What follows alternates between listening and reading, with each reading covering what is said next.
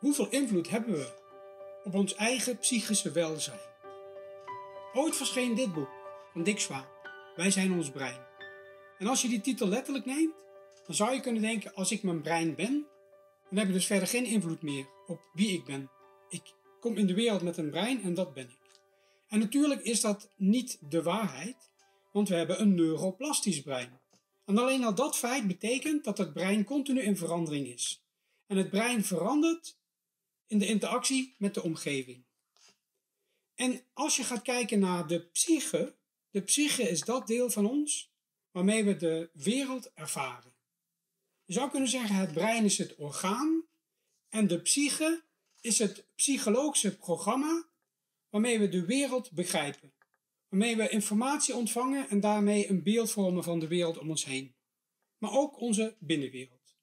En daarbij zou je kunnen zeggen, er is een objectieve wereld, en dat is de wereld zoals die is, en er is een subjectieve wereld. De wereld die jij als subject en die ik als subject ervaar. En jouw ervaring van de wereld is anders dan de mijne. Die psyche die helpt ons dus om met die psychologische programma's een beeld te vormen van de wereld om ons heen. Dat brein heeft de psyche nodig om de wereld om ons heen te begrijpen. Maar tegelijkertijd kan die psyche ook de wereld op afstand houden als die wereld te belastend is. Als we te maken hebben met traumatische ervaringen, als we emotionele pijn oplopen, als we in een afhankelijkheid komen waarbij we eigenlijk geen keuze meer hebben, waarbij we ons dienen te onderwerpen aan degene waarvan we afhankelijk zijn, dan kan die psyche psychologische programma's ontwikkelen waarmee we de realiteit vervormen zodanig dat we door kunnen gaan met ons leven. En dan praten we over dat er traumadelen zijn. En die traumadelen, dat zijn die delen die die overweldigende pijn hebben ervaren. En om die pijn niet meer te voelen, hebben we dan overlevingsdelen. En die overlevingsdelen, dat is dus dat deel van de psyche dat ervoor kan zorgen dat we die traumadelen negeren. Alsof die er niet meer zijn. En we vervormen dus de realiteit. Daar zit echter een nadeel aan. Je kunt je voorstellen dat dat enorm veel energie kost om continu bezig te zijn om iets te ontkennen dat er is. Als je emotionele pijn hebt, als je rondloopt met emotionele pijn en je negeert dat, je psyche is bewust of onbewust bezig om te overleven en de realiteit te vervormen, dan kost dat extra energie. En tegelijkertijd zorgt het ook voor stress. Want elk moment kan die realiteit van dat trauma kan in je bewustzijn komen. En het kost dus extra energie en het zorgt ook voor stress in het systeem. En als we dus praten over het helen en psychisch welzijn, dan is het aandacht hebben voor de emotionele pijn is de manier om weer in balans te komen. Want dan heb je de overlevingsdelen niet meer nodig. Als jij te maken hebt gehad met zo'n onveilige situatie, wat heb je dan nodig om jezelf te helen? Als je kijkt naar kindtrauma en Frans Rupert, de schrijver van dit boek, Bevrijding van trauma, angst en onmacht. Frans Rupert is een Duitse psychotherapeut die in dit boek beschrijft hoe je, als je te maken hebt gehad met kindtrauma, hoe je psyche zich splitst in een aantal delen. En als we kijken naar de psyche, dan hebben we het over dat deel van onszelf waarmee we de wereld waarnemen. Je zou kunnen zeggen, onze psyche is dat deel dat psychologische programma's gebruikt om met denken en voelen om de wereld waar te nemen, zodat we een beeld vormen van die wereld. En daarbij kan onze psyche ons een beeld geven van de wereld zoals die is, of de psyche kan die wereld op afstand houden en vertekenen en vervormen, ontkennen. En juist als we te maken hebben gehad met overweldigende situaties, met traumatische ervaringen, juist dan zal die psyche opsplitsen. Opsplitsen in traumadelen, dat zijn de delen die in die ervaring zitten van het trauma, overlevingsdelen, de delen die weg willen van dat trauma, die een oplossing hebben bedacht om niet meer in de emotionele pijn te raken. En je zou kunnen zeggen, nog de gezonde delen van onszelf, waarmee we door kunnen leven. En als je gaat kijken naar die verschillende delen, hoe de psyche zich splitst, dan is het belangrijk om te beseffen dat als je in therapie aandacht wil hebben voor het helen van jezelf, dat dus die psyche die gesplitst is in traumadeel, overlevingsdeel en nog een gezond deel, dat om die weer samen te voegen, dat je dat doet vanuit dat gezonde deel. Dat je vanuit die gezonde psyche met een bepaalde houding dient te kijken naar dat overlevingsdeel en dat traumadeel. En dat lukt alleen maar als je in staat bent om vanuit die gezonde psyche te kijken hoe je dat doet en wat je daarvoor nodig hebt. En daarom wil ik je in deze video negen kenmerken noemen. Negen kenmerken waarmee je een gezonde psyche kunt herkennen. En dat je daarin ook gaat ontdekken voor jezelf dat je vanuit die kenmerken, vanuit die positie van jezelf, verbinding kunt leggen om die gesplitste delen van jezelf, om die te gaan leren kennen, om daar verbinding mee te leggen en om onder begeleiding van een therapeut die te helen. En in eerdere video's heb ik daar al wat meer aandacht aan gegeven hoe je kunt werken met traumadelen. Vandaag wil ik stilstaan bij de negen kenmerken van een gezonde psyche. En die negen kenmerken zijn gebaseerd op dit boek van Frans Rupert.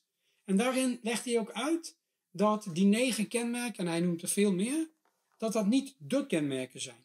Die negen kenmerken, dat zijn een voorzet om een idee te geven. Als je nadenkt over gezonde psychische, psychologische programma's die jou in balans houden, waar kun je dan op letten? Wat zijn nou die kenmerken van een gezonde psyche? Allereerst nieuwsgierigheid. Als je nieuwsgierig bent naar jezelf, naar de wereld om je heen, naar andere mensen, dan is dat een kenmerk van een gezonde psyche. Dan sta je dus open voor de wereld. Dan sta je in verbinding met de wereld. Dan heb je dus niet de behoefte om je terug te trekken, maar dan sta je open. En dan kun je ook verbinding leggen met de wereld. Dan word je nieuwsgierig. Een tweede kenmerk, dat is dat je in verbinding staat met je eigen gevoelens. Je eigen emoties. Dat je in verbinding staat met je lichaam. Dat je open staat voor wat je lichaam je te vertellen heeft. Dat je die signalen die je jezelf voelt en de emoties die je van tijd tot tijd kunt voelen, dat je daarvoor open staat en dat die er mogen zijn. Een derde kenmerk van een gezonde psyche, dat is dat je realistisch bent. Realistisch bent over datgene dat haalbaar is. En na verloop van tijd in je leven zul je merken in de levensfases waarin je komt, dat wat haalbaar is, dat dat verandert. En dat je dus wat haalbaar is, dient bij te stellen.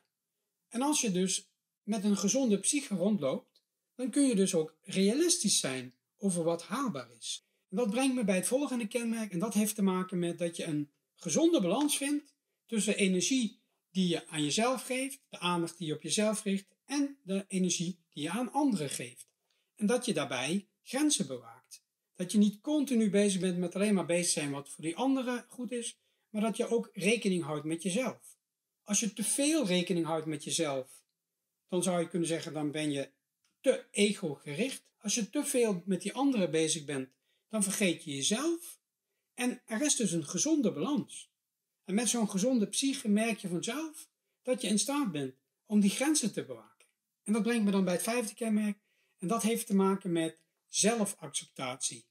En dat betekent dat je jezelf in de volledigheid zoals je bent, gewoon accepteert zoals je bent. En dat je accepteert dat je ook van tijd tot tijd fouten kunt maken. Dat het bij het mensenleven hoort om van tijd tot tijd ergens vast te lopen of iets op een manier te doen die misschien achteraf gezien helemaal niet zo handig was, maar dat je daar gewoon ontspannen mee om kunt gaan. Dat je gewoon kunt accepteren dat het is zoals het is en dat jij bent zoals je bent. Dat je in ontwikkeling bent als mens, maar dat je tegelijkertijd ook waardering hebt voor jezelf zoals je nu bent. En dat brengt me dan bij het volgende kenmerk en dat heeft te maken met dat je weet wat belangrijk voor je is. Dat je je eigen waarde kent. Dat je weet waar jij voor wil gaan. Wat zijn nou de zaken in het leven die jouw leven betekenis geven? Als je geen betekenis hebt in het leven, als je doelloos rondloopt, dan heb je geen houvast. Dan heb je geen richting. Dan vraag je af waar gaat dit leven over? En het is dus belangrijk, als we het hebben over een gezonde psyche, dat je weet wat zijn nou de dingen waar jij je energie aan wil geven? Dat als je terugkijkt naar je leven, dat je zegt van daar heb ik het voor gedaan. Dat is wat mijn leven betekenis geeft. Daar wil ik voor gaan staan. En dat brengt me dan bij het volgende kenmerk. En dat is het kenmerk dat je verantwoordelijkheid neemt voor je leven.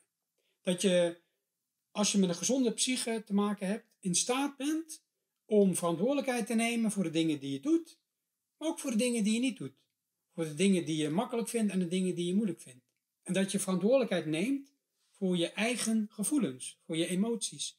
Dat je dus niet wijst naar anderen, dat je niet de vinger wijst naar de buitenwereld, maar dat je bij jezelf blijft en zegt van dit is waar ik verantwoordelijkheid voor neem. Dit is mijn leven en ik draag er zorg voor en ik doe mijn best. En dat brengt me dan bij het volgende kenmerk van die gezonde psyche. En die heeft te maken met dat je ook open staat voor je eigen levensgeschiedenis, voor je biografie.